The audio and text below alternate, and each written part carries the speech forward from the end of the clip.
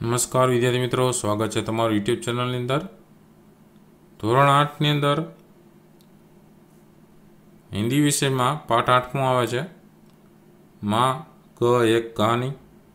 તો આ પાઠને લગતા જે કંઈ અલગ અલગ સ્વાધ્યાયપોથીના પ્રશ્નોત્તર છે, એમની આપણે વિડીયોમાં ચર્ચા કરવાના છીએ. તો વીડિયો અંત સુધી જોજો, વીડિયો ગમે તો લાઇક કરજો, કોમેન્ટ કરજો અને તમારા મિત્રોને પણ જરૂરથી વીડિયો શેર કરજો. જેથી આ પાઠને લગતા દરેક નાના મોટા પ્રશ્નોને કઈ રીતે જવાબો આવે છે. દરેક જવાબો ખ્યાલ આવે. અલગ અલગ બીજા પણ ઘણા બધા વિડીયોઝ છે ચેનલ પર મુકાતા હોય છે. માટે ચેનલને સબસ્ક્રાઇબ ન કરી તો ચેનલને સબસ્ક્રાઇબ કરી અને બેલ આઇકન પર ક્લિક કરી દેજો. જેથી કરી નવા નવા વીડિયો જેટલા મુકાય એ નોટિફિકેશન દ્વારા જાણ થાય. અલગ અલગ બીજા પણ ઘણા બધા વિડીયોઝ છે એ પ્લેલિસ્ટમાં તમને જોવા મળશે. સ્વાધ્યાય પોથીનું લગતું પ્લેલિસ્ટ છે એમાં પણ તમને જોવા મળશે. તો એ ન જોયેલો તો એ પણ તમે જોઈ લેજો. બરાબર? હવે આ પાઠને લગતા જે પ્રશ્નોત્તર છે એમની આપણે ચર્ચા કરીએ. प्रश्न पहला है निम्नलिखित प्रत्येक प्रश्न के उत्तर के लिए दिए गए विकल्प में से सही विकल्प चुनकर उसका क्रम अक्षर प्रश्न के सामने दिए गए बॉक्स में लिखिए। पहला है, गौतम बुद्ध के बचपन का नाम क्या था? उसके बचपन का नाम था सिद्धार्थ। तो डी ऑप्शन आएगा।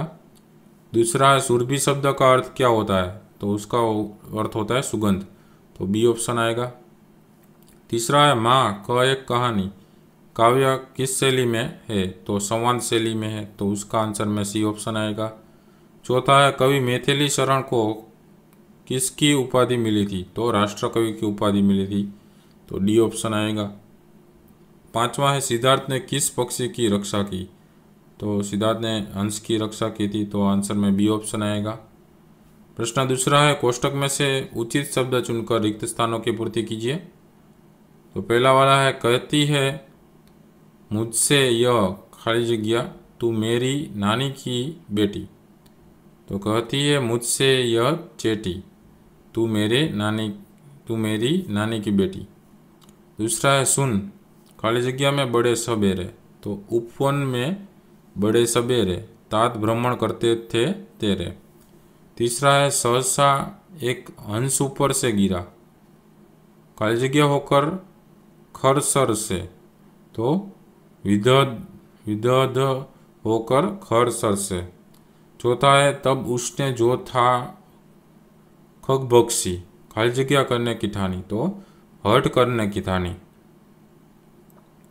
पांचवा है, रक्षक पर भक्षक को वारे, रक्षक पर भक्षक को वारे। न्याय खाली जगह का दानी तो दया का दानी। प्रश्न तीसरा है, सही वाक्यांश चुनकर विधानों को पूर्ण कीजिए। पहला वाला है सिद्धार्थ चौके, क्योंकि क्योंकि उसमें आंसर आएगा, ऊपर से एक घायल हंस नीचे गिरा। तो आंसर में क ऑप्शन यहाँ पे लिखना है। दूसरा है, आखेटक को इस बात का गर्व था कि उसका निशान अचूक रहा तो आंसर में बी ऑप्शन आएगा। तीसरा है, घायल पक्षी पर अधिकार का विवाद तब सबने सुना और जाना जब वह न्यायालय में पहुँच गया तो आंसर में ऑप्शन आएगा। प्रश्न चौथा है, निम्नलिखित प्रश्नों के उत्तर एक एक वाक्य में लिखिए। पहला है, राहुल ने माँ से क्या आग्रह किया? तो उसका उत्तर है, राहुल ने माँ से एक कहानी सुनने का आग्रह किया। दूसरा है, राहुल के पिताजी कहाँ भ्रमण करते थे और कब? तो राहुल के पिताजी बड़े सवेरे बगीचे में भ्रमण करते थे। तीसरा है, राहुल को कहानी कैसे लगी? कैसी लगी? तो राहुल को कहानी अत्यंत करुणा भरी लगी। चौथा है आखेटक ने राहुल के पिताजी से क्या मांगा? तो उसका उत्तर है आखेटक ने राहुल के पिताजी से अपना शिकार मांगा। पांचवा है, माँ ने राहुल से किस पर निर्णय देने के लिए कहा? उसका उत्तर है, माँ ने राहुल से इस निर्णय देने के लिए कहा कि न्यायालय में पक्षी को मारने वाला जीतेगा या उसे बचाने वाला। प्रश्न पांचवा है, निम्नलिखित प्रश्नों के उत्तर दो तीन वाक्य में लिखिए। उसमें पहला है, पक्षी किस दशा में नीचे गिरा था? तो उसका उत्तर है, आखेटक के बाण से बीनकर पक्षी घायल हो गया था, उसके एक पंख पर बाण लगा था और ऐसे पक्षी, ऐसी दशा में पक्षी नीचे गिरा था। दूसरा है, घायल पक्षी को किसने उठाया? उठाने पर हंस को कैसा लगा? तो उसका उत्तर है, घायल पक्षी को राहुल के पिता ने उठाया। उनका स्पर्श पाकर पक्षी को लगा जैसे उसने नया जन्म पाया हो। तीसरा है, आखेटक किस बात के लिए अड़ गया? तो उसका उत्तर है, आखेटक इस बात के लिए अड़ गया कि उसने पक्षी का शिकार किया है। उसका शिकार उसे मिलना चाहिए। प्रश्न नंबर छठा है, निम्नलिखित प्रश्नों के उत्तर लिखिए। पहला है, उपवन की शोभा कैसी थी? उसका उत्तर है, उपवन में तरह तरह से तरह तरह के रंग वाले, रंगों वाले फूल खिले थे। उन फूलों पर ओस की बूंदें चमक रही थी। हवा के हल्के शोकों से जब वे बूंदें एक दूसरे से मिलती थी तो उनमें लहर से उत्पन्न हो जाती थी। फूलों की सुगंध सारे उपवन में फल फैली हुई थी। पेड़ों पर बैठे पक्षी कलकल स्वर में गा रहे थे।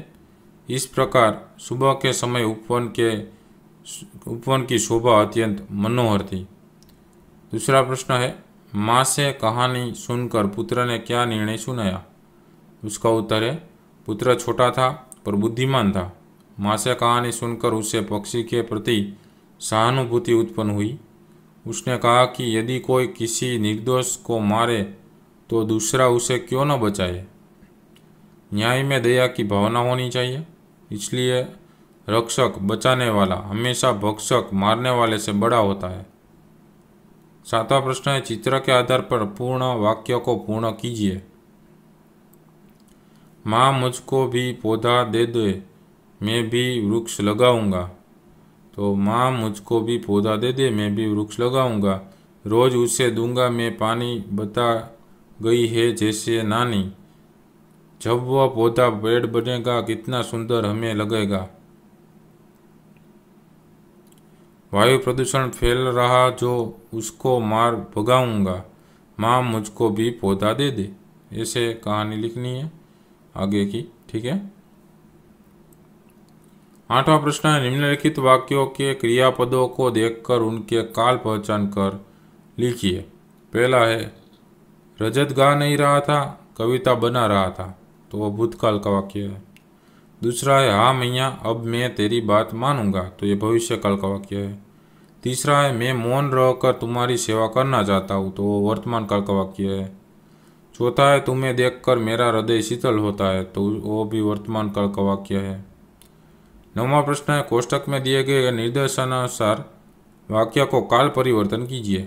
पहला वाला है, मैं अहमदाबाद जा रहा हूँ। तो भविष्य काल में कैसे लिखते हैं? मैं अहमदाबाद जाऊँगा। दूसरा है, मेहुल मुंबई गया था। तो वर्तमान काल में लिखिए, मेहुल मुंबई जा रहा है। तीसरा है, गीता आइसक्रीम खाएगी भूतकाल में लिखिए। गीता ने आइसक्रीम खाई। प्रश्न दसवां है, रेखांकित शब्दों के वचन बदल कर निम्नलिखित वाक्यों को फिर से लिखिए। पहला है, लड़की ने नई सलवार पहनी है तो लड़कियों ने नई सलवारें पहनी है। दूसरा है, अध्यापक ने छात्र को कहानी सुनाई तो अध्यापकों ने छात्रों को कहानियाँ सुनाई। तीसरा है, प्रधानमंत्री ने अपने मंत्री से देश की समस्या पर बात बातचीत की। तो प्रधानमंत्री ने अपने मंत्रियों से देश की समस्याओं पर बातचीत की। चौथा है, इस पत्रिका में जो कविताएँ छपी है, वह बहुत मनोरंजक है। तो इन पत्री इन पत्रिकाओं में जो कविताएँ छपी है, वे बहुत मनोरंजक है। पांचवा है, लू चलने के कारण लता सूख गई है तो लू चलने के कारण લતાએ सूख गई है તો વિદ્યાર્થી મિત્રો આ હતા આ પાઠને લગતા અલગ અલગ સ્વાધ્યાયપોથીના નાના મોટા પ્રશ્ન જવાબની યાદી વિડીયો ગમે તો લાઇક કરજો કોમેન્ટ કરજો અને તમારા મિત્રોને પણ જરૂરથી વિડીયો શેર કરજો જેથી કરીને આ પ્રશ્ન જવાબના એમને પણ ઉપયોગી થાય કઈ રીતના પ્રશ્નોના જવાબો આવે છે બરાબર તો અલગ અલગ ચેનલ પર ઘણા બધા બીજા પણ વિડીયોઝ મુકાતા રહેતા હોય છે. તો ચેનલને સબસ્ક્રાઈબ ન કરી તો ચેનલને સબસ્ક્રાઈબ કરીને બે લાઇકન પર ક્લિક કરી દેજો. જેથી કરીને નવા નવા જેટલા વીડિયો મુકાય ને એની નોટિફિકેશન દ્વારા સૌપ્રથમ તમને જાણ થાય. તો ફરી પાછા નવા વીડિયો સાથે મળીશું. ત્યાં સુધી ન જોયેલા વિડીયોઝ છે, જોઈ લેજો. તમારી કાળજી રાખજો. પ્લેલિસ્ટમાં પણ ઘણા બધા વિડીયોઝ સરળતાથી તમને મળી જશે, એ પણ જોઈ લેજો. Thank you very much and take care